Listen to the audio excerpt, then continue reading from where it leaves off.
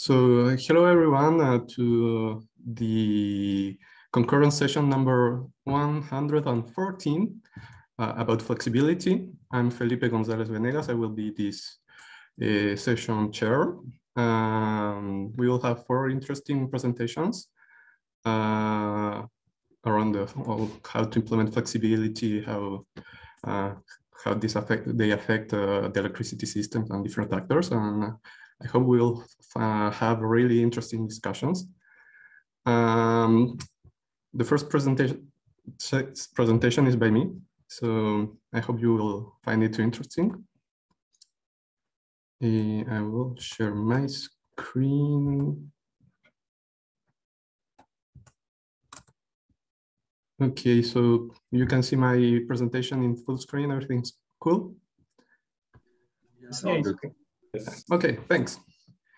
So uh, I am going to present a part of my research, which is uh, the role of penalties in long-term flexibility tenders.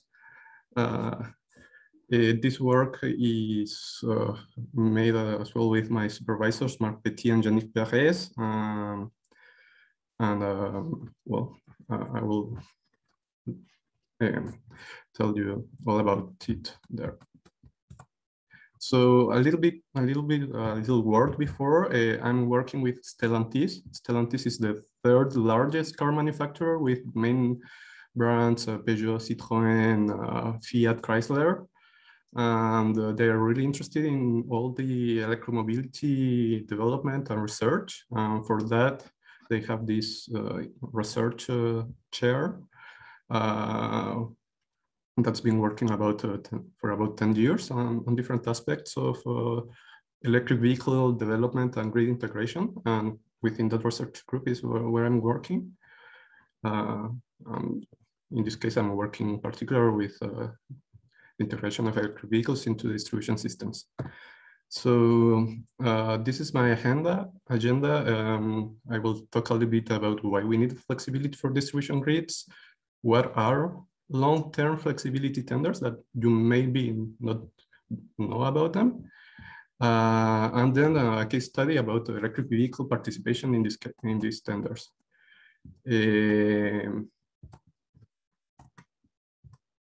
so why do we need flexibility?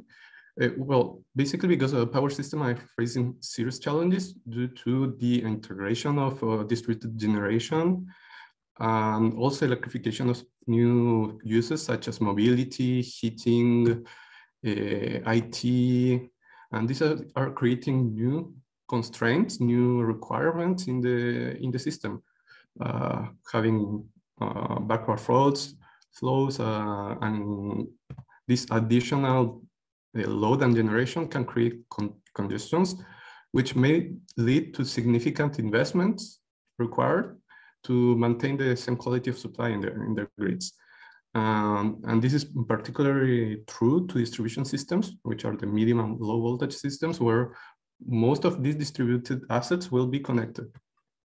Uh, however, using flexibility uh, can help distribution grids, both operation and planning, by reducing congestions and then thus having less need to uh, build new cables, uh, build bigger transformers, and they can even uh, provide a, a, higher and better operation and better quality of supply to end users. For example, as providing backup power in case of any default in the grid. Um, yeah, among all these different distributed assets, uh, in particular, electric vehicles can be a really interesting assets to provide flexibility through smart charge, which is like unidirectional charging, uh, shifting the load uh, to low the charging to low impact hours, for example, as well as V2G, which is bidirectional charging, where the vehicle can also provide energy to the to the uh, distribution system. Uh, and this way they can create value for grid operators, for aggregators, um, for different stakeholders in the, in the electricity system. Uh, and in particular, also they can lower the cost of total owner, ownership for end users And this is really important if we want to really boost the diffusion of electric vehicles. I don't know if you saw the IEE, the International Energy Association presentation the other day, uh, but we need to stop uh, um, selling combustion vehicles by 2035. So uh, there are serious challenges to boost the, the efficiency of electric vehicles. Um, so how do we implement flexibility at the distribution level? Actually, we have different frameworks. Um, in the presentations later, we will talk uh, about uh, some of them. Uh, you have net first, uh, you can use tariffs, network tariffs like such as uh, capacity tariffs or peak of peak tariffs that will incentivize users to uh, shift to adapt their consumption patterns. you can have smart contracts, for example, where you will have a reduced capacity to take energy from the grid in constrained hours. But what has been really uh, taken a lot of research and, and there is a lot of uh, impact or yeah, interest going on lately is about market-based uh, solutions. And a lot of that of, of research has been done on short-term flexibility markets or local flexibility markets that will couple in a, in a day ahead or intraday fashion to solve uh, con congestions that may happen uh, in the distribution grid. However, what's really interesting, and I think is much less uh, research about, is our long-term flexibility tenders. And they have already been, they, they have been implemented in the UK since 2018, and recently in France as well. Um, and they have been an interesting um, mechanism to uh, unlock flexibility. So how did they work? Uh, basically, um, in the in flex, long-term flexibility tenders, the DSO identifies some zones and periods where, for example, congestion may occur and where they might need flexibility to, to operate their grids. Uh, you can see that in this, uh, in this screenshot.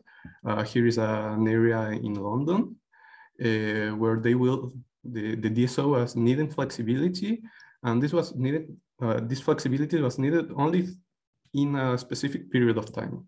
In this case, between February and March, uh, at uh, at in the morning until 3:30 uh, p.m. and only in weekdays. So they know that given the consumption patterns, they the flexibility might be needed, but only in these periods. So they they set up a tender, they um, and different actors provide bids and then uh, they award contracts between for between one up to seven years for flexibility provision. And what's really interesting as well is that the people that uh, get a, a, contract, they are required to be available during these these periods between February and March, for example, but uh, the activation is done in real time and only a few times per year. It's not that every day you need this flexibility. Um, uh, what's really interesting as well is that in the case of uh, the UKPN, UK Power Networks, the London area, the DSO, uh, the, the tender they carried out last year was a huge success. They awarded contracts in over 50 different areas of their grid. Uh, and, um, and also the value of flexibility was could be really, really high, though although it varied a lot according to each area. And you can see that in this graphic on the right, where the value of flexibility in average was around uh, 60 pounds per firm kilowatt per year. So it could be significant money, but this varied between two to five pounds and to over 200 pounds per kilowatt. So imagine if you have a battery or an electric vehicle that can provide 10 kilowatts, uh, you can be making a lot of money only for supporting the grid, the, the distribution grid.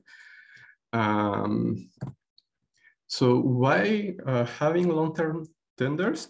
They are really interesting for DSOs because uh, if DSOs uh, uh, only rely on short-term solutions, for example, uh, to as an uh, to unlock flexibility as an alternative to investment deferral. That's a, meaning that okay, I won't build this new line, but I will only rely on this short-term market. They can be facing serious risk if the flexibility is not available when they need it. So they can endanger the the the grid if flexibility is not there. Uh, so these long-term term, long-term tenders, uh, they uh, allow risk sharing through long-term contracts. So they provide sec the security for DSOs that the flexibility will be there and they ensure a certain revenue stream for flexibility operators to develop their technologies and their business models. Uh, and what's so to ensure that the flexibility will be there, will be delivered, they implement penalties uh, interesting uh, the case of UKPN and the Enedis that uh, are the two tenders that I've uh, studied, they have different penalties uh, condition uh, scenarios. And therefore, my question, in my research question in this case was, well, what's the role of these penalties? How can these penalties affect the participation of distributed uh, resources aggregators, in particular of EVs or demand response aggregators. And in particular, because, uh, for example, EVs uh, can be can provide particular challenges since they are quite variable and they their availability is not really certain uh, given that, for example, uh, the electric vehicle might not be connected when I was needing it. So uh, for that, uh, we develop a methodology, um, a sim simulation-based methodology that mimics the tender process, where in the first type stage, uh, we do simulations to evaluate the potential of availabilities of electric vehicles uh, to provide flexibility to the to, to the tender. And in a second stage, we simulate the flexibility activations and we see how well this uh, electric vehicles fleet can respond to the committed flexibility. And then we compute uh, remuneration and penalties. Uh, if you're interested, the, there is the paper that uh, explains a little bit more in detail uh, this uh, methodology is published as a working paper in by Florence School of Regulation. So the link is there. You will be able to see that later.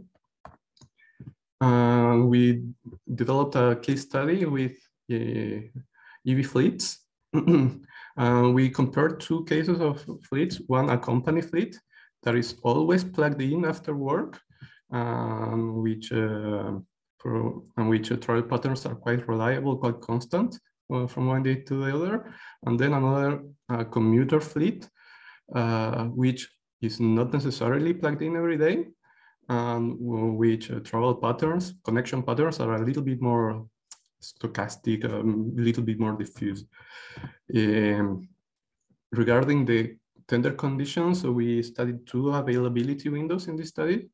In one case, we say, okay, the DSO requires flexibility only during the evening period between 5 to 8 p.m. or and a second case where the flexibility is required at any time of the day. And, uh, and then we studied three penalty conditions. Uh, a low penalty scenario, which is correspond, corresponds to the UKPN case, a medium one corresponding to the Enedis, uh, case and a high one that we built to prove a point uh, to analyze uh, the the impact of even having stronger uh, penalties. So what are the main results? Uh, to understand the results, uh, here I show you the charging and availability patterns of the of both fleets you can see that uh, the company fleet arrives a little bit early, earlier than, than the commuter fleets.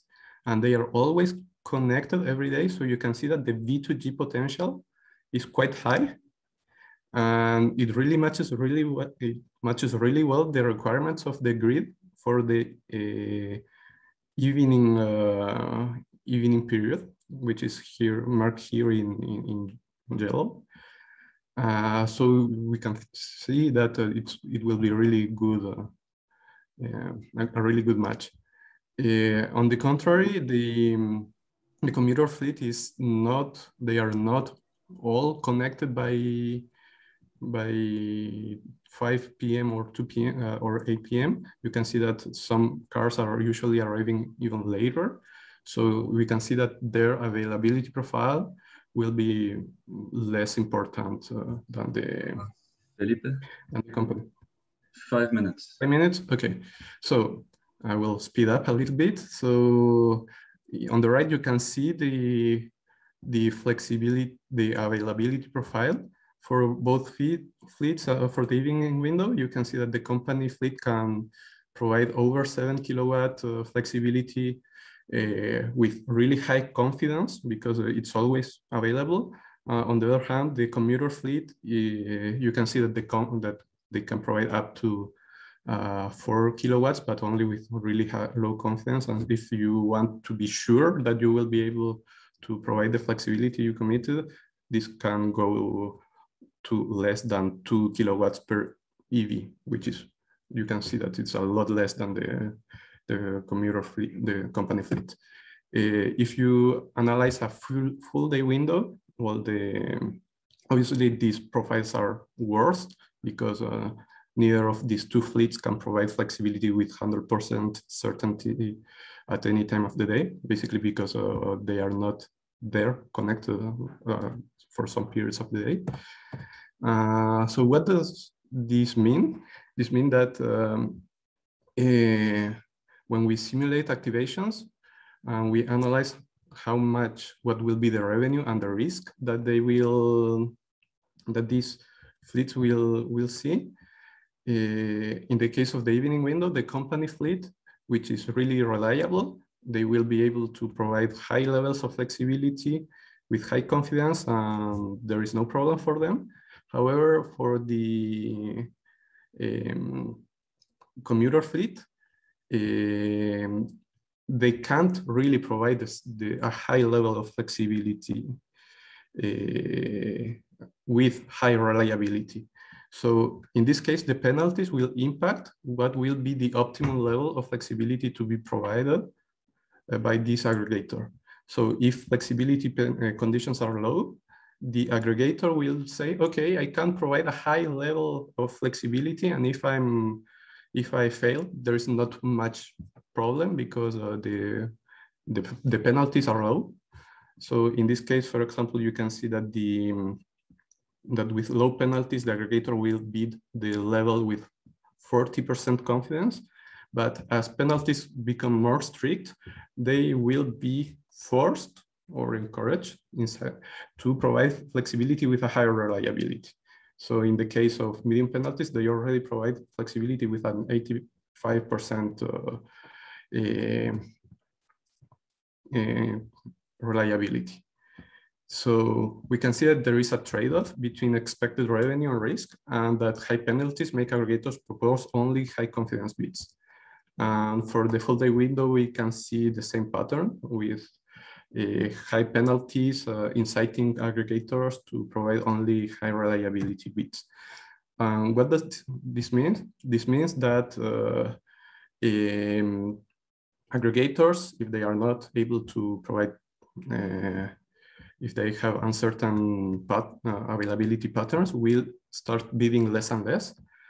And uh, what's really interesting is that the low penalty scenario, which is implemented in a real tender can uh, can accept who can cannot really um, well provide the case for really high unsuccessful activations. So what I'm marking here uh, with uh, in red is the cases for the full day window at the company and commuter fleet, where we can see that in these cases, 30 up to 45% of uh, activations simulated were unsuccessful. So were less than the than 60% threshold.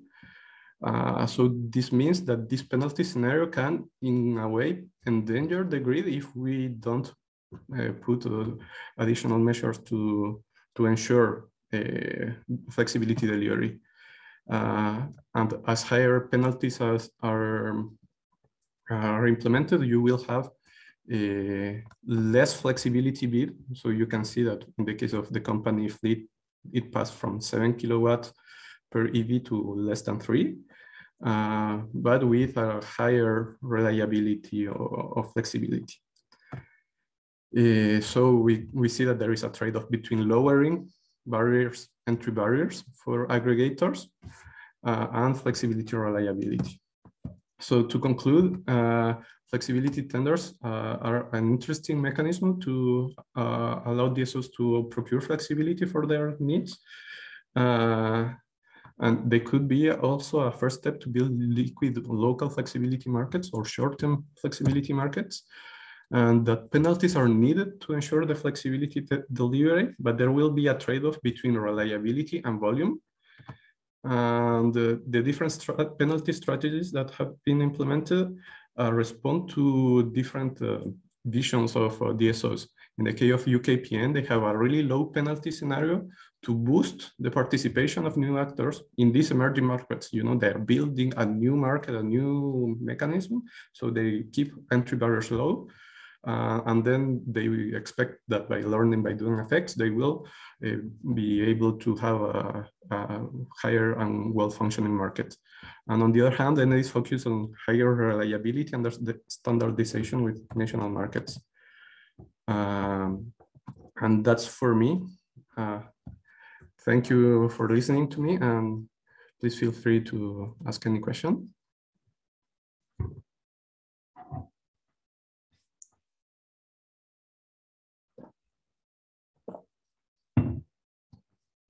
Uh, yeah, Christoph, you can, yeah, turn on the mic.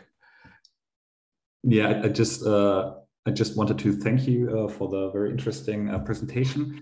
Um, maybe you can jump to I think it was page eleven or something. We'll figure it out. Uh, or no, me. So ten. Head 11. On there's 11 is this Maybe one? 13. Yeah, I think it's that. Yeah. Uh, here, because um, uh, I'm sure you have explained it to me, but um, I'm just curious the the um, uh, for example the red dots that you can see here. This is this is not a function, correct? Um, yeah, it's not a function. It's a simulation based results. Yeah. Okay, so you have, uh, for example, you can have this the same CVaR value um, leading to uh, to different uh, or in, in, combination with uh, different average uh, revenues, um, because then there must also something else uh, um, come with a different setting, correct? Yes, yes, yes. I, I was a little bit short on time, so I didn't explain very well this part. But basically, each one of these dots is a simulation at a different confidence level. For example, this is probably the, the bid at a zero, 5% uh, confidence level. So the aggregator bids a really high value of flexibility. Uh, however, since this value is really unreliable, there will be many cases where uh, they will not be able to respond to the activation. So they will be incurring a more and more penalties. So in average, they will be losing money due to the okay. penalties. And the CVAR, which is the risk measure, is the 5%. We use the CVAR at 5% to worst case. So we simulate a lot of activations. And in the 5% worst case, they will be even losing a lot of money, like more than well, 75 uh, euros per EV per year. So you can see that uh, if you go towards the right and up here, this, this is better for the aggregator because it has lower risk and higher average remuneration. And yeah, yeah, yeah, it's a it's kind of a Pareto frontier between uh, risk and average Yeah, uh, direction. I understand now. Thank you. So thanks, uh, Christoph, for the uh, question. Uh, uh, any other question? question?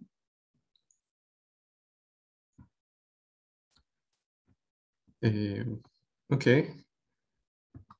So if if you if there are no other questions, uh, we can go to the next presentation by uh, Thomas Verderi. Uh, Yes. which is going to present a, a, paper on the application of a scaling down method to study long-term effects of wind and solar on the French TSO tariff. So the floor is yours. Um, I'm starting in time now. Okay, thanks a lot for having me.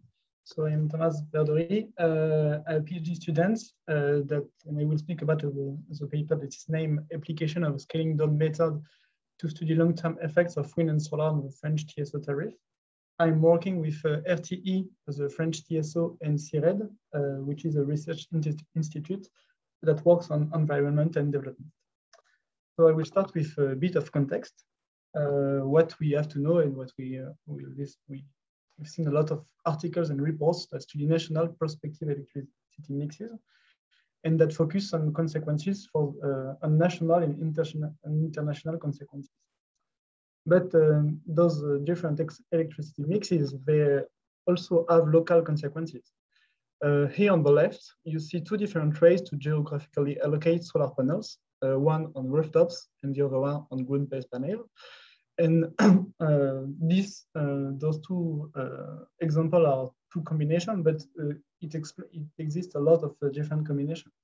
And according to the geographic allocation, uh, one we can see that it will impact the power flow, the dimensioning, the flexibility, and also uh, the social accept acceptability, the environment, and, and a, a, lot of different things.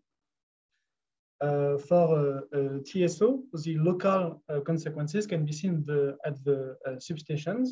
So what is a substation then? A substation is the interface between a TSO and its client. And those clients can be both DSO or important factories. and uh, why, uh, why is it important for the TSO? It's because substations are nodes of the high voltage power grid. So knowing the residual loads curves of each substation is a a very useful information for the, uh, for the grid exploitation. Uh, uh, residual load curves is the difference between um, local load and local production. so here you have two examples of, um, of residual load curves. Uh, on the top, you have an example with uh, uh, only a client that consume energy. And the bottom, you have a, um, a, case where you have a client that also produce a bit of energy. And one can see that the, in the first case, the scenario, uh, the, sorry, the TSO only see the demand curve, which is a light blue demand curves. But on the bottom one, it sees the darker blue uh, uh, uh demand curves. And one can see that if the production became too high, uh, maybe the, the TSO will also inject, uh, sorry, the client will also inject energy on the, on the TSO and it can have consequences on the, the, the dimensioning of the, of the TSO. So what we have done is that we developed a model uh, to uh, calculate those residual load curves. Uh, and I will speak into details of how we do that. So I will speak a bit about the model and the data. Um, so what we do is that we, we take national prospective studies and we apply the scale down method uh, to the substation of the French TSO. Uh, so it's uh, the model scales separately the national load and production calculates the residual load curves of each substation. Uh, I will not go into much detail of the scaling down of the load. Uh, what you have to know is that uh, it tries to keep the characteristic of the load curves, of the historical load curves of the different substations, like the thermosensitivity. thermosensitivity. Um, and uh, that we use historical data from the TSO, so load data to, to do. And for the production, uh, the production, uh, the scaling down of the production is scaled down using socio-economic and grid data. Um, and uh, by having both, we can then calculate the residual loss curves of each uh, substation. I will uh, talk in too much detail of the scaling down of the prediction. Uh, the model uses two inputs. the first one is, is, national wind and solar capacity. We only study wind and solar capacities because they are the the two uh, way of produce uh, re renewable energy that will develop the most in France. Um, and, uh, and we want to study the impact on the different residual outcomes. Uh, we also distinguish, uh, distinguish uh, rooftops and ground-based panels by using a parameter. So when we have, um, we, we can study different scenario uh, when the, with more uh, ground-based panel or more rooftop parameter. Uh, once we've uh, then uh, after we've determined how much uh, of those different way of producing energy is we will have, we apply um, we geographically allocated each of the um, each of those production sites. For rooftop panels, we use uh, assumptions and socio-economic data. For example, uh, for rooftop panels, uh, individual rooftop panels, we allocate the, the panels according to the number of houses uh, in France. And for um, commercial rooftop panels, we use the number of employees in different sites. And for onshore winds production and ground-based panel that are uh, bigger uh, uh, production sites, we used the method that is the, described in the French TSO network development plan, um, and we, what we have to do, what we have to know about this method is it's just that it's trying to, um, set the capacity in high potential area uh, while taking into account the trend of installation. So we use a free allocative key uh, that goes from that helps to go from national to substations, and uh, uh one is using uh, the uh, local the renewable potential that is uh, estimated by, uh, by a union of producers. The second one is the uh, local trend of installations. And the third one is the, um, uh, the capacity that is available at the substation. So this way we, uh, uh, we allocate more renewable energy to substations that can, that can connect them easily. Um, and then we evaluate the consequences of uh, renewable energy, uh, distributed uh, uh energy, on the French TSO using two elements. First, we calculate variables of interest for each residual load curve. Uh, two that are uh, currently using to um, calculate the bill of each substations. So the withdrawn energy and the subscribed power so the maximum of the demand curve and all the energy that is withdrawn uh, by a client uh, from the, the, TSO. Then the injected energy and the injected power. So if a substation is uh, has also renewable energy connected to it, it may sometimes inject energy into the, the, the, TS, the TSO. Um, so this is why we also calculate those. And the dimensioning power, which is the maximum between subscribed power and injected power and uh, it, it, in fact it's, um, it will represent in our article a proxy of reinforcement. And uh, plus, uh, additionally, sorry, we also use the cost model, uh, which is really simple and only take represent the fraction of the grid reinforcement cost. So we calculate the transformer reinforcement cost induced by renewable energy at each substations. And uh, to do so, we assume a linear model, uh, linear, uh, linear relationship, sorry, uh, between the dimension power and the cost. Uh, so we'll talk a bit about the result that we, uh, we have by applying our, our method. Um, in the article, we study the impact of DRER on the uh, French TSO substation by 2030. Um, so we set the load and uh, everything else, and two parameters will vary. First, the national wind and solar production. So we study two scenarios the business as usual scenario that uh, is in fact um, uh, how much capacity, capacity will be in France uh, if we are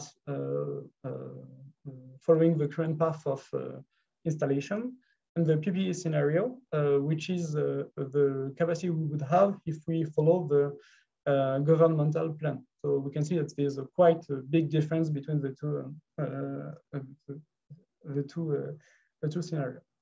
And then we also vary the rooftop versus ground panel parameter, which will refer as T in the, the following slides. Uh, and this value is in percentage. So uh, what you have to know is uh, the, the lower means that uh, the lower the parameter, the higher the capacity will be installed as um, ground-based panel parameter. So uh, value, a value of zero means that all the future, uh, all the new solar capacity will be ground panels and not and not rooftop. Um, first, we so we applied our model and we then calculate the um, the dimensioning power of uh, the different substations. And uh, what we see is that, uh, of course, the rise of DOL will impact the emission power of uh, the substation. On the left of the slide, you can see a repartition function of the delta of dimensioning power for the PPE um, 2030 capacities. But what, what we can see is that the effect of DOL are quite heterogeneous. Uh, for most of the substation, the dimensioning power slightly decreases, while for a little number of substations, the dimensioning power increases a lot. And uh, what uh, you have to remember from this slide is that for the PPE capacity, almost 10% of the substation have a dimensioning power increase of more of 20 megawatts. Uh, and uh, you, you, can say 20 megawatts what it is. In fact, it's uh, more or less the mean of the, of the subscribed power of each, each. So a rise of 20 megawatts is uh, important. Um, you can also see that there is three different, uh, uh, we computed this repartition function for a three different value of the rooftop versus ground panel parameter, but we cannot really see um, that much difference in the shape of the uh, repartition function. In fact, this parameter will impact the cost, the result of our cost model. here you have the, um, you have two, uh, uh, we calculate, we uh, calculate the reinforcement cost with our cost model for the PPE 2013, the business as usual 2040 capacities. And what you can see first is that uh, the total, obviously, the total capacity of, um, of renewable energy will impact the cost uh, a lot. Uh, sorry, I've done, I haven't finished to describe the, the graph yet. Um, for uh, um, uh, the light blue is the increases of uh, cost produced by DRER. The orange part is the decrease of costs produced by DRER. And then the, the dark blue is the total. So um, for example, on the left, you can see that for the PPE capacity, and for T equal 25%, the, the reinforced cost that we have calculated is in total uh, 144 uh, million euros. Um, uh, this decompose, uh, uh, yeah. Uh, and so the, the thing that you have to, to see here is that the, obviously the total installed capacity will impact the cost, uh, but also the rooftop versus ground panel parameter will have more impact with higher solar capacity. So for the, uh, we can see that uh, costs may vary from uh, almost 50% between the TGAL 25% and TGAL 75% in the PPE capacity, while the costs are not really um, sensitive to this parameter in the business as usual scenario. It's because uh, it's because uh, there is not enough solar capacity installed to see an effect. And uh, why does this uh, parameter impact? It's because it will impact the nearness between uh, production sites and consumption sites. Uh, because if you have a high value of this parameter, it means that you have more rooftop panels uh, which are next to consumption sites. So uh, it's um, so this um, this yeah it, it encourages to um, to also look at this at this parameter while thinking, thinking ah, uh, while studying um, a national perspective. Um, plus, uh, when, once we've calculated the cost, we also uh, calculated the tariff revenue of each substation. So how much, how much of the substation would pay to the TSO. And what we can see is that substation with important rise of reinforcement cost also see that tariff bill diminishes. So on the left, you have a, um, a graph. On the x-axis, you have the delta of reinforcement cost that we've calculated. On the y-axis, you have the delta of tariff, uh, of tariff, sorry. Uh, each point represents a substation, and each color of point represents an area uh, uh, um, the, the uh, um, sorry, populated, a kind of populated oh, sorry, um, a curve of density of population. So, uh, it means that the if the, the, the, greener one is the very partially populated area, while the uh, red one are the very populated area. So uh, if it's green, it's rural. If it's uh, if it's um, red, it's uh, urban.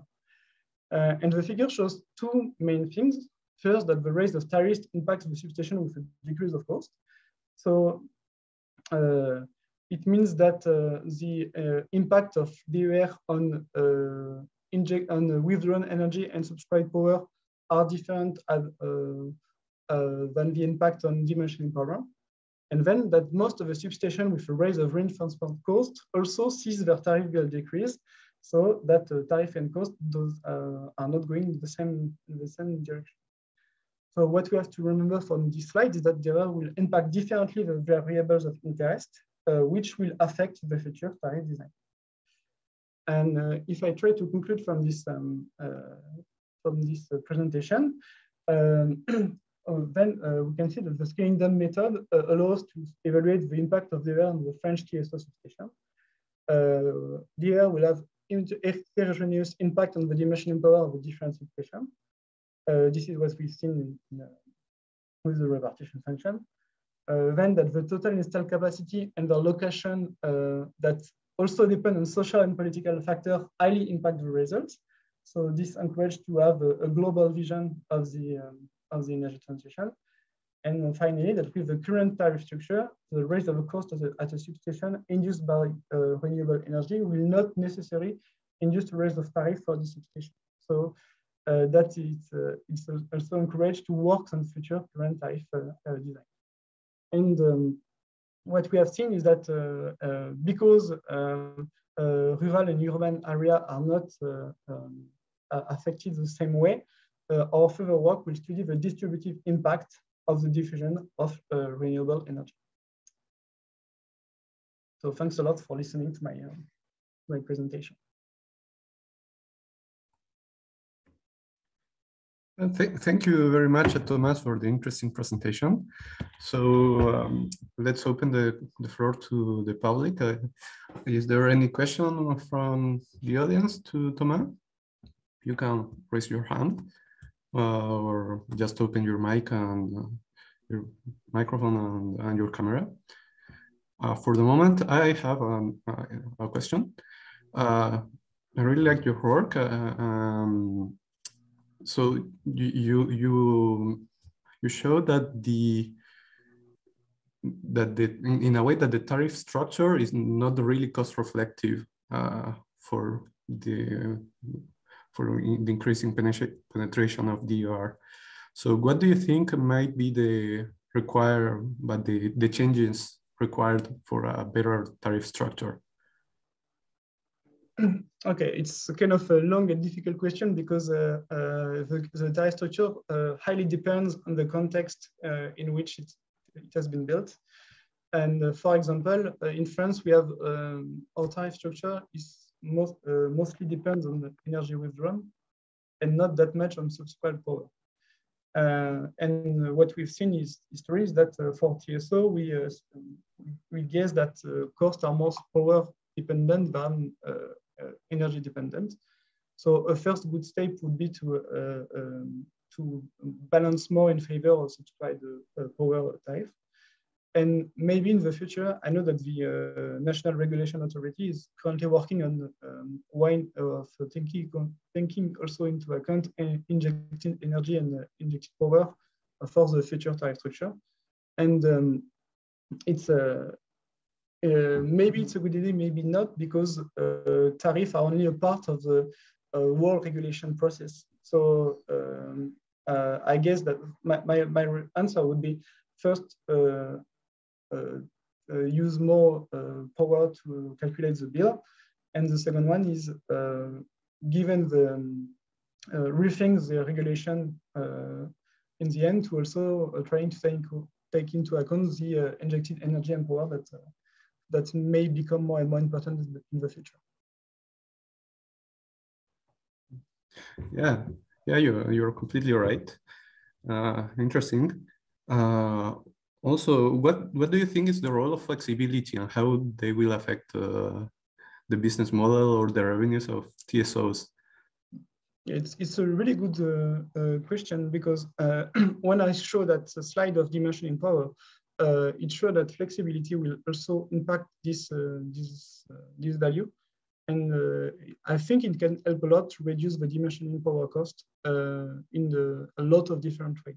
So um, one of the one of the hypotheses that we have here is that uh, maybe with more flexibility, uh, it will be easier to uh, to connect more DER to to the different costs. So I think it's kind of an enabler of the energy transition. So um, so here you have oh, my work is like uh, uh, can oh, how can I say that uh, is giving let's say a need of reinforcement and but reinforcement can be solved in many many ways and increasing flexibility is one of them.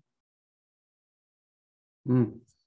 Yeah, yeah, it's really interesting. I, I, I think I Enedis on the made like a similar study, but on the distribution side. Mm which I think it was also at the substation level. So it's like the same thing, but um, from the other perspective. And they are uh, proposing some kind of um, curtailment option for DERs that will, yeah. uh, according to them, like save them a lot of millions and millions in investments just by curtailing like two hours per year or something like that. So uh, that's that leads me to another question: Is like, are you in contact with the people at, of Enedis that or other DSOs that work in these same problematics? Uh, because they also build uh, like their prospective studies of uh, renewable generation penetration at the local level. Um, no, I'm not in contact with Enedis, um, but uh, in RTE, I, I I work with uh, people that are uh, also um, working on the, the, flexibility subject. So, uh, and I think that they are working with Enedis. So I'm not directly connected to them, but one one network quad away from from them. Okay. Yeah, yeah, that's really interesting. Uh, I've been working a little bit with some people of Enedis that was mm. were working on them, so we can talk a little bit later. Yeah. And uh, I have one last question if there is no one in the audience to raise their hand. Uh, really interesting uh, analysis uh, between the impacts of whether focusing on ground-based uh, solar versus uh, rooftop solar.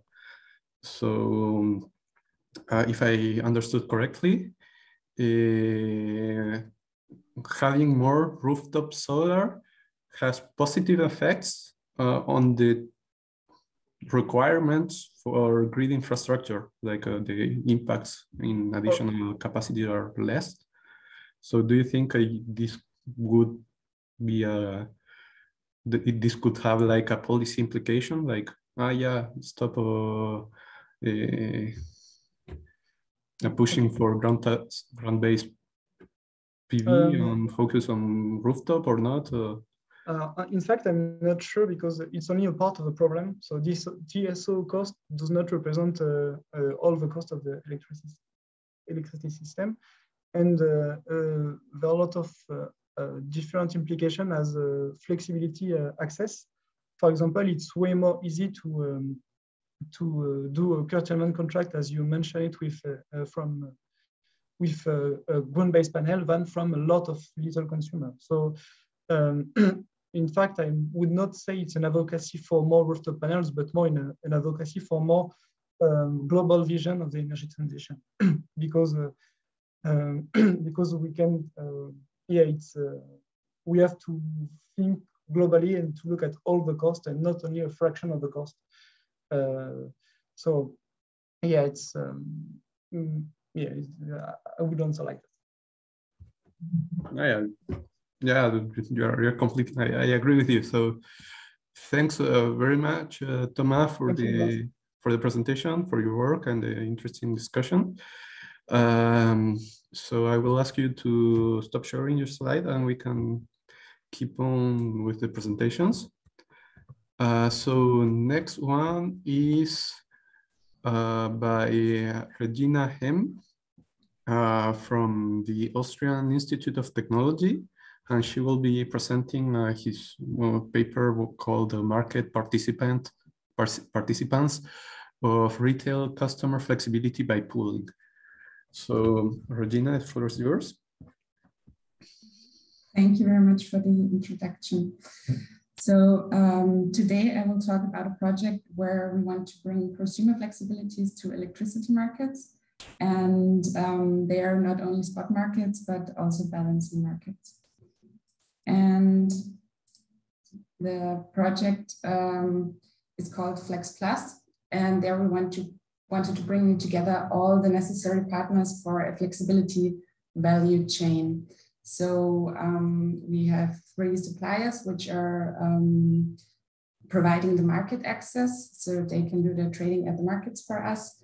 Uh, we have an IT service provider who is um, in charge of all the interfaces and the data transfer.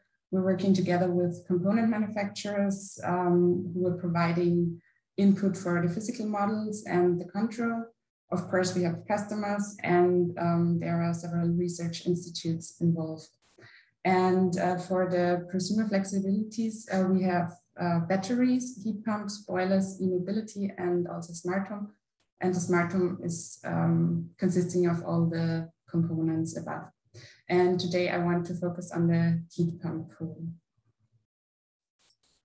Uh, but first, I want to give an overview about the architecture of our project. So um, on the bottom, we have the, the single components in the, in the households. So there are the heat pumps and battery storages, boilers, and electric vehicles. And the aggregators, so the pools in the layer above, uh, they can access uh, things like storage levels and uh, other information needed. Um, and they, the pools are calculating a schedule with uh, this information and also with market information, which they get from the Flex Plus platform, such as price forecasts, for instance.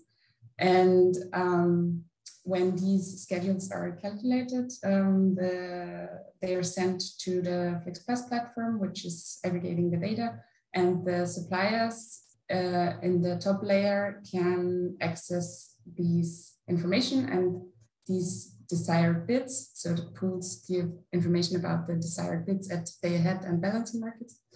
And then the suppliers are trading at the markets. They get back an information whether the flexibilities have been or the bids have been accepted or not.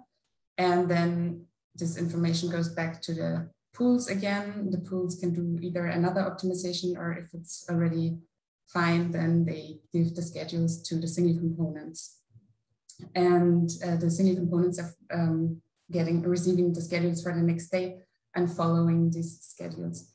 And in case of a um, balancing activation, the information also comes from the suppliers through this platform, through the Flex, Flex Plus platform over the pools to the components. Um, here is another overview about the structure of the heat pump pool, especially. So um, all these components have to be modeled in a mathematical model. Um, so the, the, scheduling takes place as a mixed integer linear programming model. Um, so if you're not familiar with it, um, all these components are um, expressed as mathematical equations, and there are some variables which the optimizer can choose. And there is also an objective function, which is in our case the cost minimization. So the minimization of the day ahead costs are the costs uh, which are um, um, which uh, come from the day uh, from the day ahead market, and as plus the revenues from the balancing reserve market. And um, all these components have to be expressed as mathematical equations. So there is the heat pump, there is a domestic hot water storage. Of course, there are also domestic hot water withdrawal profiles, there's a buffer tank, and there's a building model. And one layer here um, is one household, and they all the households are pooled, they are connected to a grid.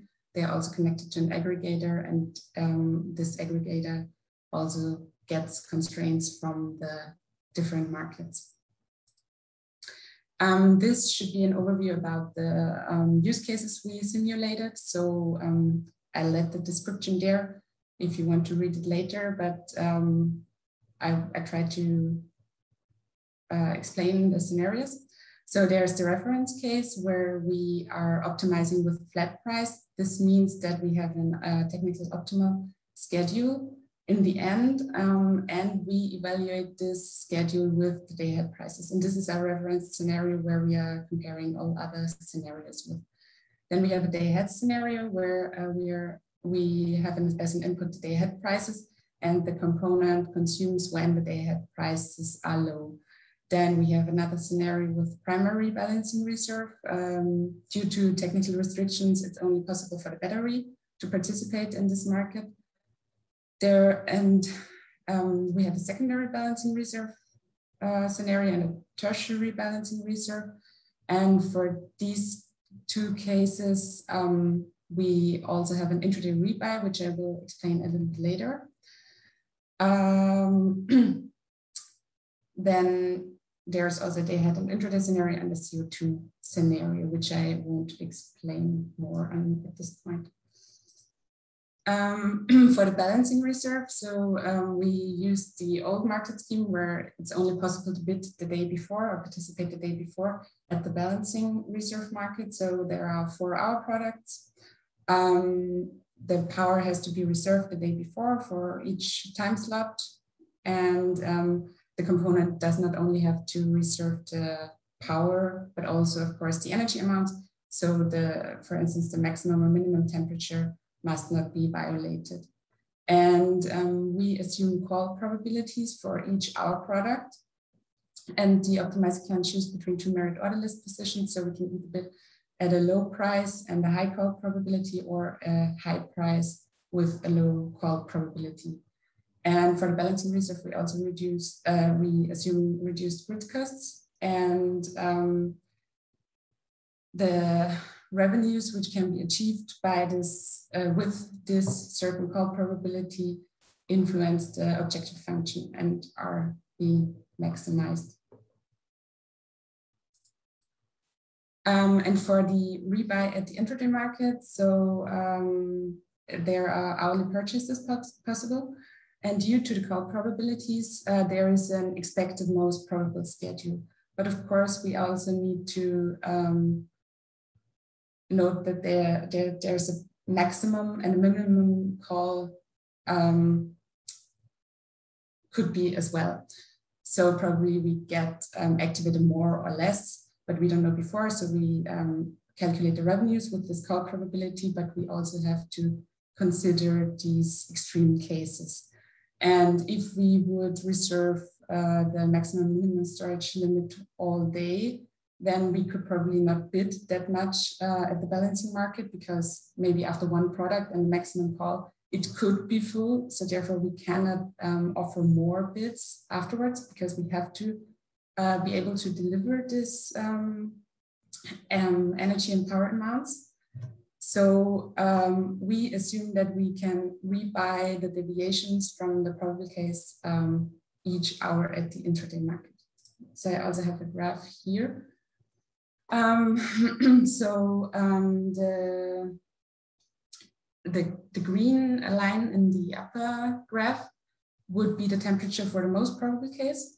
And below you can see the offered amounts at the market. So in this case, there would be no, at the day ahead schedule would be zero, there would be no power offered at the day ahead market, but we are offering negative balancing energy. I mean, that's the, the sign is the other way around um, at the um, at the balancing markets. So we assume that we probably get uh, the green amount of energy for the most probable case.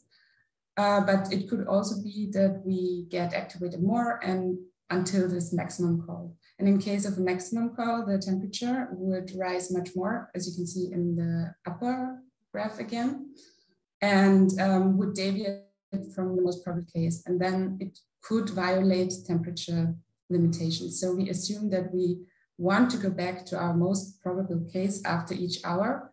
And to do this, we have to reserve some power. And um, we have to reserve exactly this amount of power, um, the deviation from the probable case in the other direction. Um, this example is for a component which can inject and consume power from the grid, but of course the, um, the day-ahead schedule can be shifted as well. So yeah, our optimization problem is considering this rebuy possibility as well.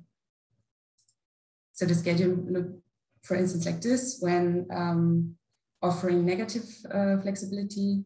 So the component would consume flexibility. Then in the time step afterwards, uh, there is uh, a slightly lower amount of the day ahead mark because if there would be a full call, the, this amount would be sold at the intraday market. Um, then how did we model the physical components? I will just um, explain it very shortly. Um, for the for the mixed integer linear programming problem, we have to linearize everything, but binary variables are allowed. We get polynums for the thermal power and electric power dependent on the rounds per second from the manufacturer. We did a uh, linearization and um, there, for instance, we have binary variable because it can either be zero or between 30 and 100 rounds per second. And um, if you're interested, you can read it later, how we modeled it or formulated it in mathematical equations. Um, and for the building model, uh, we used an RC model.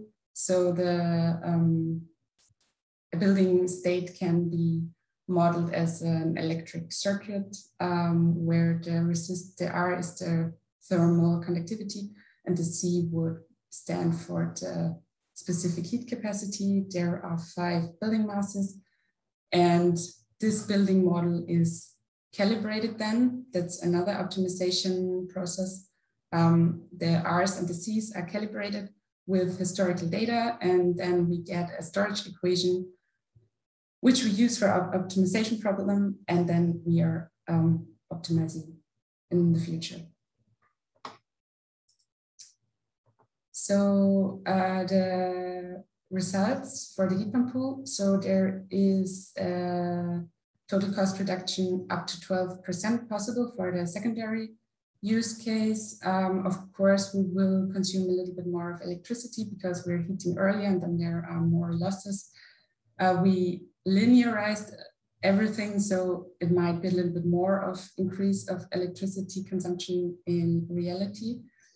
Um, and we can see that the biggest share of cost reduction is, re is due to the reduced grid tariffs for balancing reserve. Um,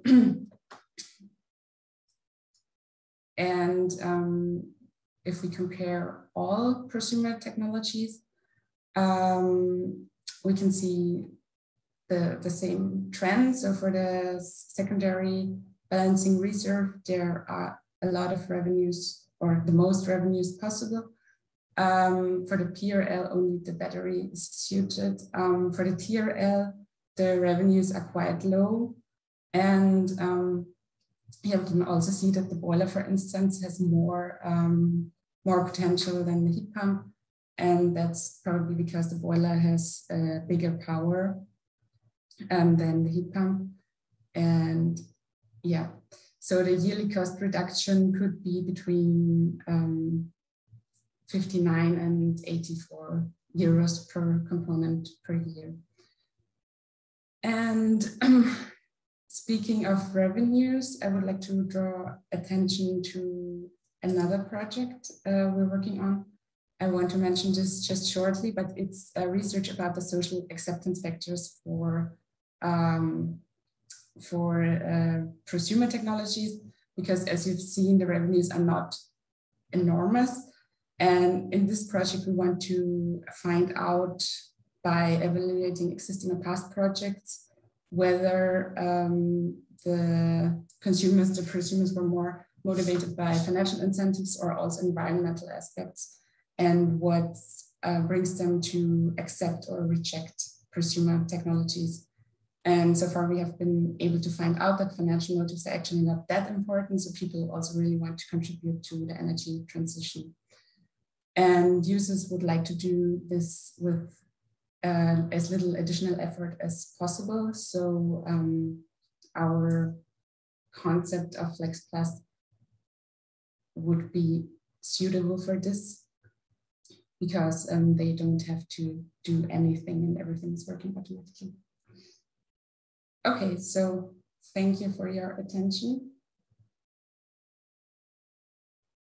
Feel free to ask any questions. Okay, th thanks, uh, Regina, for really interesting work, a really, really thorough model of, of different, of all the markets, uh, the combinations of participation of these uh, distributed assets. Uh, uh, so, uh, as always, if you have any questions, don't hesitate to raise your hand, to open your mic and your camera. So, um, well, uh, I have some questions. So first of all, uh, regarding the revenues that you showed, I was a little bit surprised by the low, yeah, that one, the really low value of uh, primary reserve remuneration. Uh, usually when I, well, I, have seen most studies regarding electric vehicle V2G pro provision, providing primary response uh, is a V2G. Uh, and they usually show really higher values. And here you show that's mostly zero. Why do you think is that? Uh...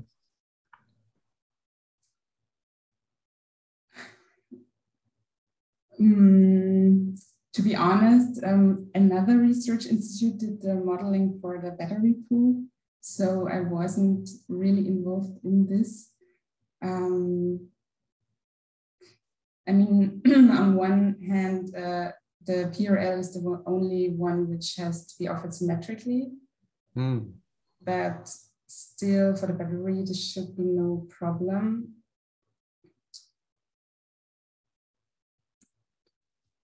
Okay. I would, but I can I can ask uh, this colleague from the other research institute and tell you afterwards, or, or send you an email with the answer. Thank okay. You. Okay, uh, I'm sorry now. Uh, also, these uh, revenues are also only simulation. They are not like no. Okay. Yeah. So they are with perfect forecasts or perfect foresight, except for the activations, and the rebuys are also calculated within this. So. The, okay. Okay. But really interesting anyway. And so you said that this is part of a project and you are you going to implement some of the algorithm, algorithms to test uh, these how how real boilers for example or real heat pumps will respond to your algorithm yeah we're working on the demonstrations at the moment and yeah, for some components, it's easier to implement, for instance, for the boilers and for the heat pumps, for instance, there are some, there are more problems with forecast deviations and also with cal the calibration of the building model, because for instance, we don't have the irradiance from the real uh, location of the household. And um, therefore, if there is a big tree or something, we don't know that. So the shattering of the house is, or and the um, the energy which comes from the solar irradiation is quite difficult to um, to assume actually. And for some houses, it's working quite good already, and for other ones, not yet. And yeah, we're working on it that we can find the, the problems and mm. make it work for all of them. Yeah. So um, so regarding all the thermal uh, comfort modeling, you use, you create some forecast for the thermal requirements and uh, um, after that you optimize the heat pump uh, consumption. Mm -hmm. And how do you build these forecasts? What are your assumptions? Um, they are indirectly um, considered in this building model. So we have uh, forecasts for the weather, for the outdoor temperature, and for the irradiation. And also we assume something for the internal masses. Um, or the, yeah, for instance, a refrigerator also gives some heat. And um, then since we, and then we're using these equations and um, yeah, the aim of the optimizer is to keep the temperature level between two, but the maximum and the minimum temperature. And mm-hmm. um, yeah, the, the, the heating, or uh, the amount of the heat pump or the energy amount which comes from the heat pump is the optimization. So this can be varied and yeah, the, the model is calibrated with old data from the last two days of irradiation, weather, and so on. And then this calibrated model is used for two days in the future, and the only optimization variable is with forecasts, and the only optimization variable is the um, yeah the heating amount which goes into the floor mode. Okay, really interesting. And I, if there is another question from the audience. Uh, yes, actually, I have a question. Cool. Uh, I saw that, I don't know if I understood correctly, but uh, your model predicts the, the need for flexibility for the next day and you're simulating on four hour time steps? Um, it doesn't really, the model gives a schedule and the bits, so the bits at the day ahead market and the flexibility bits, and we assume some activation, but the activation can be more or less. So yeah, the.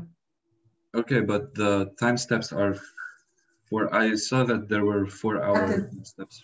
Um, the time steps are 15 minutes and the oh, balance is four hours. So if you offer a certain reserve, then you have to keep, uh, or this has to be the same for four hours. Okay, okay, okay. That's a requirement so, from the balancing market.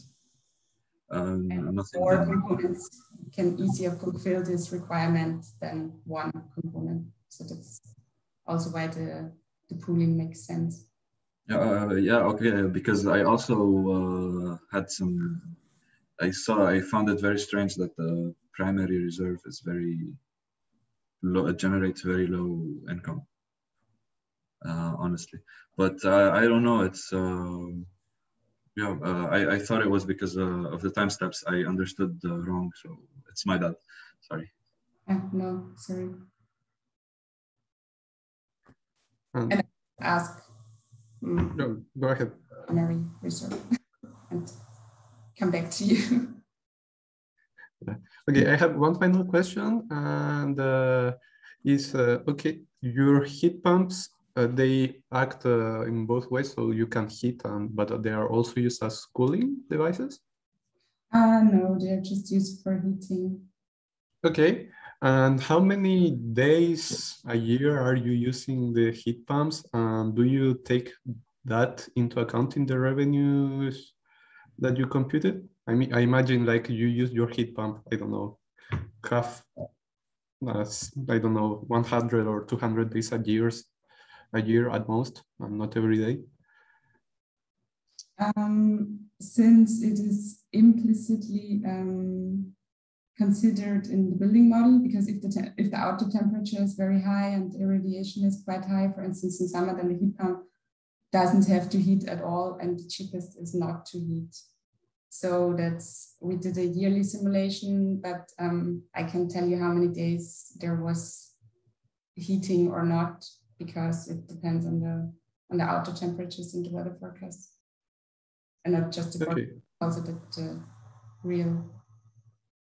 Uh, okay, okay, but yeah, yeah, cool. It's taken into account when you simulate the whole year and uh, interesting. So uh, thank you very much, uh, Regina, for the presentation. Really cool models. And uh, we will go to the next um, and final presentation of this session, which is by Christoph Schick from the University of Stuttgart. And he will be presenting uh, his paper on the impact of grid charge mechanisms on prosumers and the energy system. So, Christoph, uh, uh, the floor is yours. Thank you. So let me share the screen. Can you see already my screen or doesn't it work? Me, not yet. Okay. Me neither. Let me try again.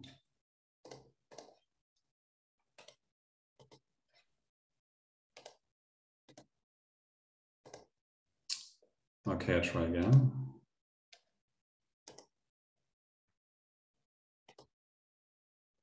So now you should see my screen, hopefully. Yes, I see your screen now.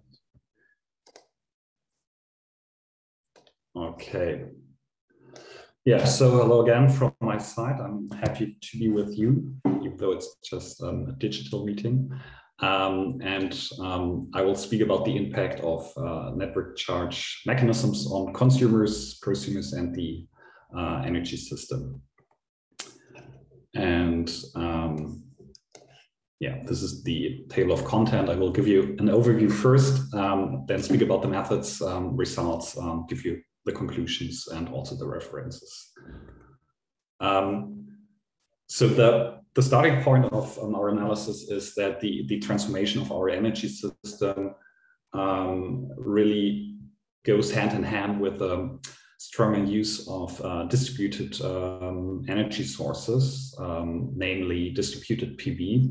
And also, um, a lot of those PV systems will come with battery systems. So we have a new group of, of end customers that um, yeah have already been mentioned in the in the other presentations as well. Um, these are the the prosumers um, who become active market participants and um, can take an active role in the energy system.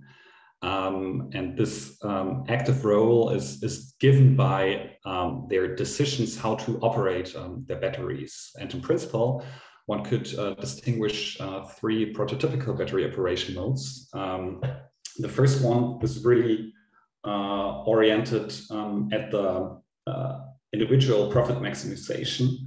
Um, and this heavily depends on the regulatory framework. Um, we'll speak about that in a second. Um, and in cases of uh, frameworks um, that um, depend on yeah, volumetric elements such as volumetric network charges or volumetric renewable energy support costs, um, this um, self-consumption, uh, this profit maximization equals um, self-consumption maximization. And the scope of analysis in this case is really uh, the individual household. But batteries could also operate um, grid uh, with an orientation to the grid, network beneficially, uh, to reduce um, peak coincident network um, capacity utilization. In this case, the scope of analysis is tens to hundreds of households, which is the typical of number of households uh, that are connected um, to um, distribution um, network node. And finally, um, batteries could operate um, market beneficially in order to leverage portfolio effects with the goal to optimally integrate renewable energy in the system it also market level. And in this case, um, we speak about thousands to millions of households. And um, as I said, um, the actual decision um, how to operate the battery really depends on the regulatory framework, which um, provides uh, an incentive for the prosumer to do it either or the other way. And um, here we focus on a very, very important part of this regulatory framework, which are the, the network charges. And the question that we have is how do different network cost allocation schemes provide different incentives for different battery operation modes? um, that lead to different household energy bills that lead to different utilizations of the distribution network and ultimately also to different um, system costs. So um, yeah, this is the workflow of our analysis. And um, as I said, what we are really interested is um, to have a kind of a holistic picture of the situation. So we want to have um, a closed loop analysis um, that uh, integrates the individual impacts, um, which um, will be given by a consideration of the full costs of electricity. Um, we will have a um, look at the local impacts uh, by um, analyzing the distribution network capacity utilization, and we will also have a global perspective uh, by consideration of the system costs. And we will do this for the three prototypical battery operation modes um, that I just spoke about. And here again, you see these um, operation modes denoted by one, two, and three. Um, and we will combine these modes with two also prototypical um, network cost allocation mechanisms. And the one mechanism that we are uh, analyzing are volumetric network charges, and the other are um, peak capacity charges. Um, and I will speak about those um, in a second uh, in more detail. Okay, so let us start with the battery operation mode one. Um, this is um, the individual uh, profit maximization. Um, and in this case, we assume that this equals, as I said, a maximization of self-consumption.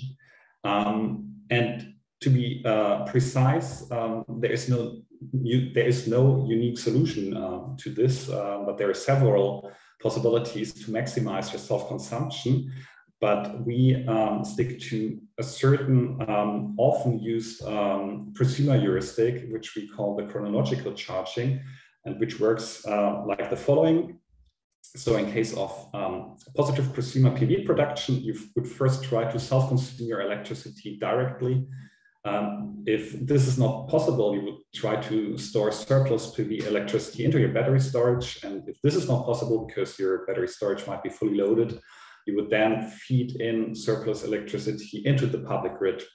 And in the case you don't have prosumer PV production, you would first try to discharge your battery storage to cover your electricity demand uh, from your own uh, energy. Um, and then if this is not uh, possible because your battery might be empty already, you would uh, finally withdraw electricity from the public grid. And by implementing this algorithm, one um, will get a prosumer residual load. And also, I'm very happy for that. Uh, the residual load has already been uh, explained earlier, so I don't need to do it here. So output is a single household prosumer residual load. And with this information, you can then uh, already yeah, evaluate the full cost of electricity for the prosumer, which typically um, consists of yeah, three parts. Um, the one is the investment costs. The second part are the wholesale market costs, which is basically the energy withdrawn from the grid times the average wholesale market prices, um, and also remuneration in cases of feed-in weighted by the actual market value of PV. And then you have all the regulatory components. And as I said here in this analysis, with this, which is really a, a highly stylized approach, uh, we are focusing on the network charge part only. And uh, this is sometimes uh, a function which is um, depending on the residual load times uh, specific network charges. And these components are defined in more detail later on. Um, so now we take the next step and we go up to the distribution grid level um, and want to understand what is the residual load of prosumers and consumers that are connected to a certain uh, distribution grid node. And I have to say again, um, we made um, a couple of simplifications. So we really assumed um, a radial network topology throughout um, our analysis.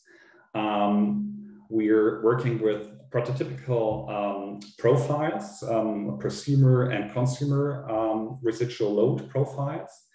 And I didn't mention it, um, but uh, what I think is cool about our analysis is that we are really using actual data. So the, the load profiles are quarterly hour um, um, profiles that are measured uh, from a single family household in the city of Düsseldorf, and also the PV profile is an actually a measured profile. Um, and to actually um, calculate the residual load at node level, um, we need to superpose um, the prosumer and the consumer residual loads. Um, and we do this by um, assuming 75% um, of the households connected to the node as uh, prosumers and the remaining 75, uh, 25% uh, as consumers. So this is the superposition what we need to do. But even more importantly, we also need to take into consideration the simultaneity effects. And we do this by um, Gaussian smoothing, um, which is a common method also applied in other fields, such as uh, image processing. There, I think it's referred to as a Gaussian blur. And this uh, takes into account uh, the simultaneity effects uh, that are important on the uh, distribution uh, network level.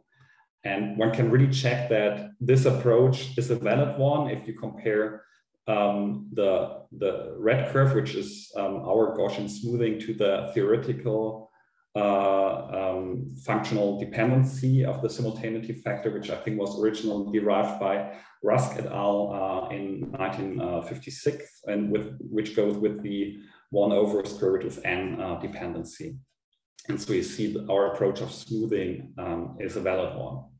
So now um, uh, what we achieved is the um, aggregated residual load of prosumers and consumers um, at the grid node level. And now we need to speak about uh, the network charges. Um, for the volumetric network charges, it's, it's really a simple thing you basically just multiply the annual amount of energy withdrawn from the grid with the specific uh, volumetric network charges. And for the peak coincident capacity charges, you do it differently. Basically, what you do is you first calculate the aggregated residual load on the network node, then you sort it um, by magnitude. And for the top 30 residual uh, load power peaks, uh, you then take uh, the prosumer and the consumer shares into account, average over it, uh, and this then enters the equation, uh, this residual load multiplied with a specific capacity charge. And usually um, this term would not fully compensate for the total network costs. So what we did here is we added our fixed network charge per customer compensating for the residuum. Um, and um, this approach is um, referring to um, Perez Arriaga um, and et al.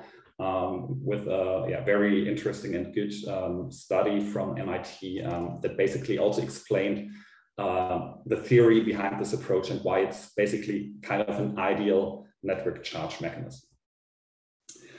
Okay, and finally, we go even one step further and take on the system perspective. And what we now do is um, we further smooth the aggregated um, load from prosumers and consumers at wholesale market level, take this as an exogenous time series, uh, which then enters um, a linear optimization model of the European electricity market, um, E2M2, which is um, um, defined uh, and explained in detail by Sun. Um, and the specific model structure and parameter setting that we used um, is given in uh, Schick et al. in an IEEE paper from 2020. Just um, yeah, with uh, respect to the limited amount of time, I, I, tell you that it's it's a model which, uh, of course, um, depicts several characteristics of the electricity market, such as load coverage, of course, system adequacy, and rest investment paths. Okay, so here we can now then do the optimization of the total system costs and figure out the optimal system costs um, with this um, battery operation mode. And for battery operation mode two, the, the overall picture is the same. We first evaluate um, a single residual load profile. We then smooth it and aggregate it um, to uh, analyze network capacity utilization. And then we further smooth it and um, put it in as an exogenous time series into our system model. So the overall analysis is the same. The difference now is that the actual uh, household um, optimization algorithm is different because this time we do not only want to maximize self-consumption, but also we want to reduce peak capacity network utilization. And to do so, we formulate the problem as an optimization problem with objective function is the self-consumption and several restrictions um, that depict the, yeah, the physical picture of the situation. So load coverage, capacity, and storage constraints. And most importantly, we now have this peak capacity restriction for the aggregated residual load at the node, which basically says, okay, the aggregated node at the uh, load at the node should be lower than an upper bound. And what we now do is we iterate over this whole thing um, and step by step make this upper bound uh, lower and lower until the problem is no longer solvable. And by this, we can really figure out what is the lowest upper bound uh, for the residual load that is achievable. And then um, we stop and again, we get a residual load for the prosumer, but this time it's really a different residual load.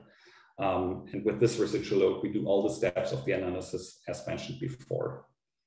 And finally, um, we go to battery operational three. We remember here um, the rationale is to minimize the total system costs. And this approach is really uh, different uh, because this time we start with the minimization of total system costs and we leave the battery operation as a degree of freedom for the system.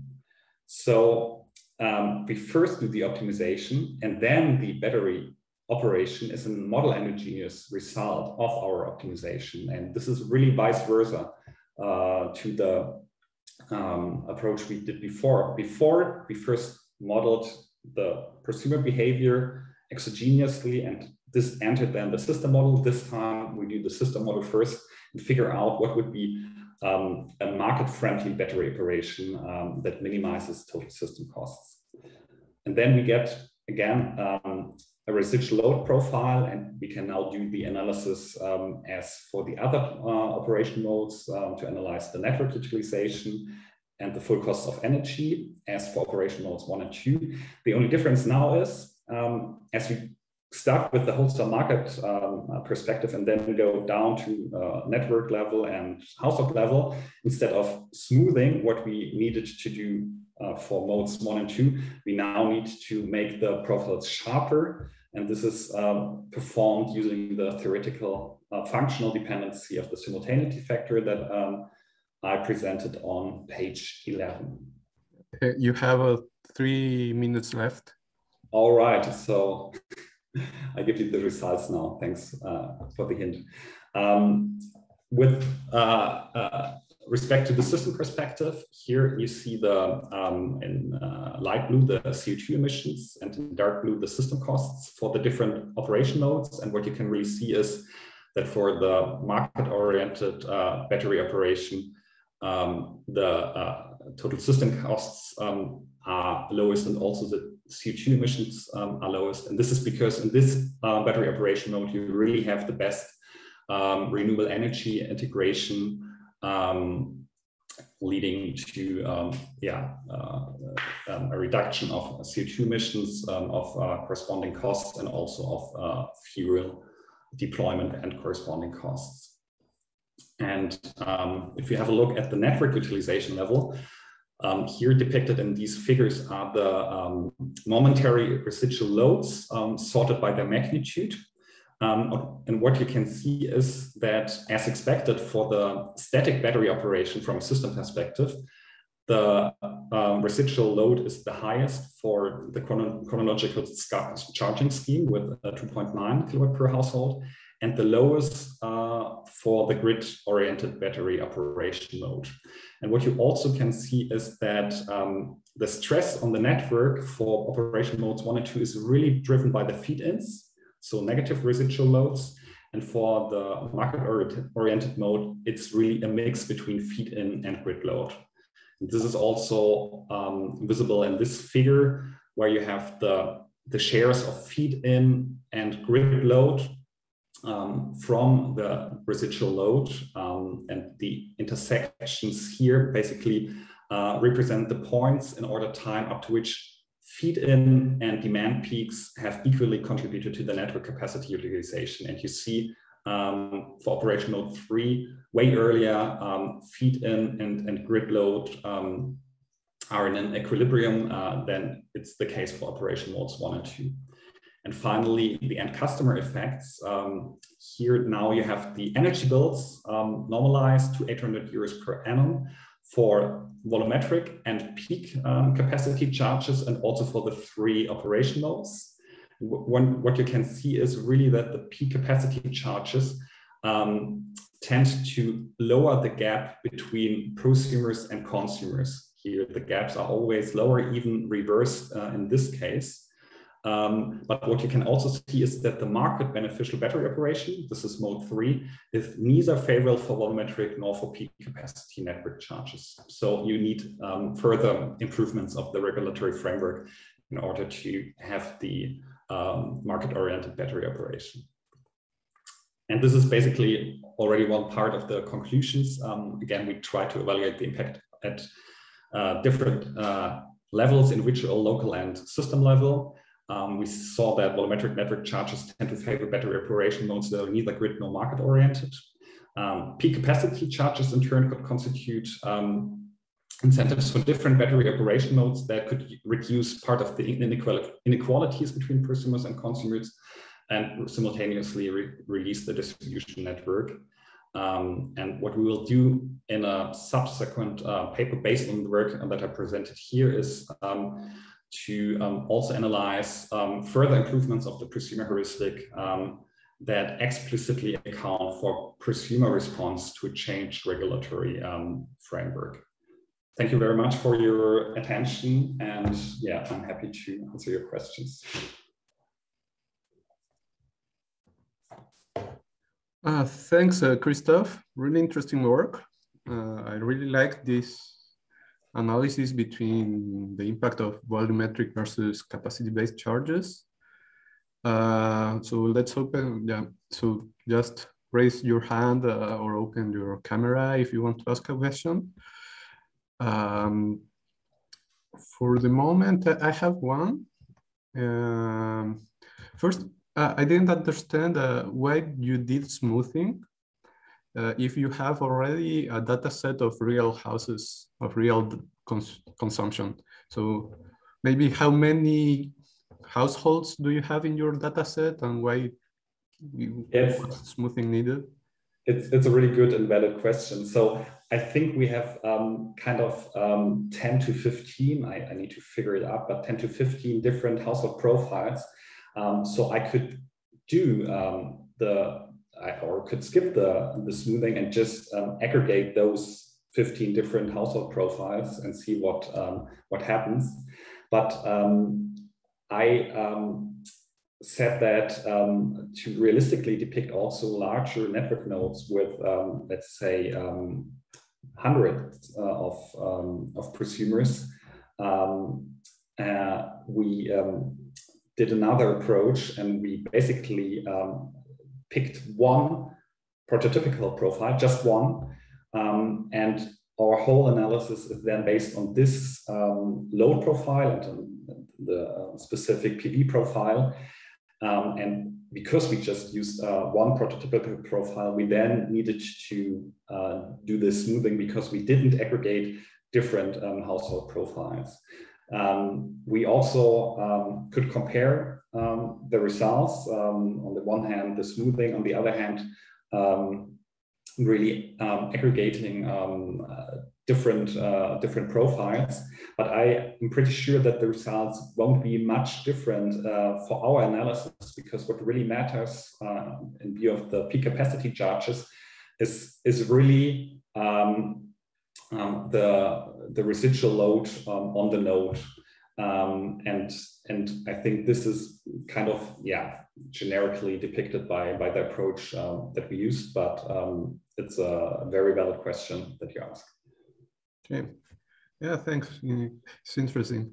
And well, and this does this Gaussian smoothing has a have you studied the validity of this a, formula for doing the the yeah. or yeah yeah and um, I mean, I did it myself basically, and also figured out that uh, I think other smart people have done it already uh, in the literature. And I think it's really uh, these guys here, Rusck et al. from 1956 or, already, um, that derived this formula. And it's it's not basically um, a good surprise or something that these curves fit so well together, but actually, um, as far as, as I understand, the theoretical derivation of this formula basically um, heavily depends on an approach of, of uh, Gaussian smoothing. And the idea basically is that um, if you start with a typical sharp profile,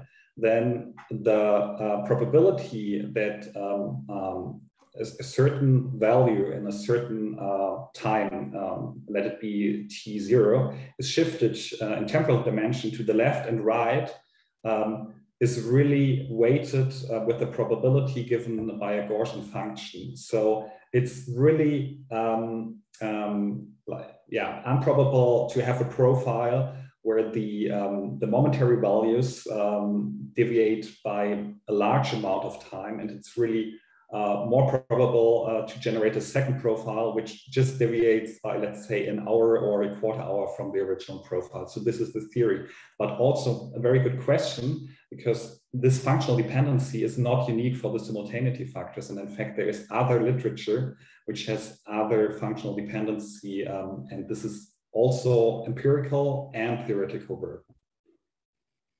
Yeah, yeah, it's interesting uh, because I was thinking about that because uh, with uh, demand response, this simultaneity could be getting higher. For example, if everyone is responding to low prices hours. Yes. Uh, so that Gaussian smoothing might not be valid in uh, in the future smart grids. So uh, yeah, there's a point to think about that. Yeah. I, I totally agree with you. If you have this uh, interaction, this direct uh, reaction to, let's say, for example, a price signal or something, then you will have more, yeah, um, focused uh, times uh, that everyone will try to use, and then there are less uh, focused times that no one is trying to use. And I agree with you that um, if you integrate this, um, then um, you really need to rethink about this, this approach. And typically, I would expect that the residual uh, power peaks uh, could be higher than um, if, if really um, you're more price uh, reactive. So it would really even amplify the effects that we figured out here. Yeah, it's a really good point, I think. Yeah, it's yeah. I was actually I was studying that, but in the case of electric vehicles, so they are really responding that electric vehicles that respond to to electricity prices and trying to calculate some simultaneity factors. So if you are interested, uh, I can send you the manuscript. Yeah, sure. Um, uh, so any other question from the audience? Um, I, I, think demand response is a bit different because it's more nonlinear than uh, than EV charging. I'm actually working with demand response.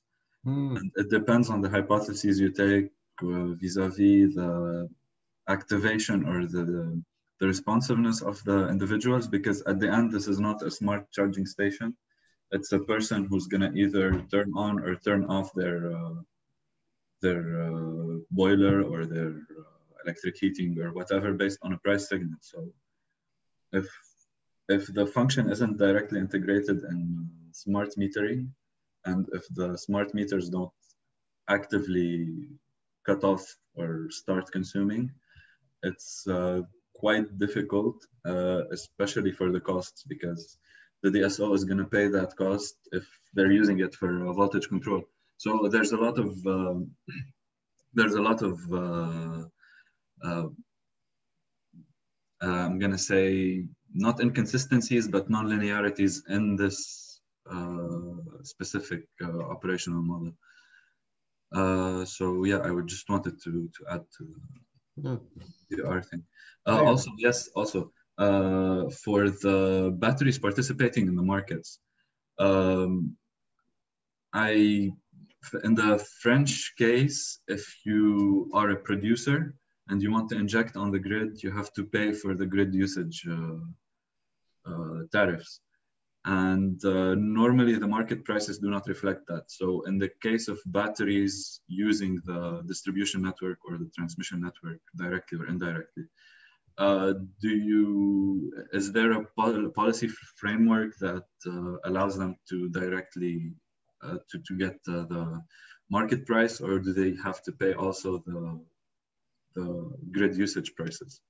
Because um, yes, I think this is, um, so to speak, um, work in progress because I think uh, also in Germany, the, the regulatory framework is, is changing. And this has been a discussion uh, um, for years, I think exactly this point. Um, so to be honest, I right now I can't tell you exactly what the, the regulatory scheme in Germany is, but as far as I know, at least in the in recent times, as you said, as you mentioned, you needed to pay this um, uh, this fee for for uh, grid usage, um, and you wouldn't, in most cases, you wouldn't see the the wholesale market prices with is really um, kind of the, also the starting point of this analysis uh, because I said okay as you don't really see the the market price you would work with heuristics or with something that is not a, a totally market oriented mode. And this really leads then to inefficiencies in the market. Because in the case uh, of uh, self-consumption, collective self-consumption, um, it's not profitable to do it because of the tariffs. So uh, the the usage of the, these tariffs, of the grid tariffs, really kill the self-consumption project, and it becomes okay. the okay. same price as the grid price. As the this is this is this is interesting because I'm pretty sure that this is uh, not the case uh, in Germany. In fact, I think this is really the number one rationale for um, private households investing in battery systems that they use those uh, to increase their their self-consumption and uh, and nothing else basically. So uh, this is this is really interesting. I didn't know that this uh, is really different. Um, uh, yeah, I'm uh, talking about collective self-consumption, not. Ah, yeah. Okay. Okay. For energy communities, this is the thing that that uh, makes it on the yeah. same level of cost as the, especially with the big capex for the PVs. Okay, so this we, we have we have here too. This is um, yeah the in Germany it's uh, Quartierslösungen, uh, which is um, yeah really relating to this issue. Okay, we have we have this here as well. Yeah. Okay. Uh, thank you. Thank you. Okay. So we are on time. Uh, I will stop the recording now and I will close the session, but I will leave the channel open a little bit if we you have to, to um, you want to have further discussions.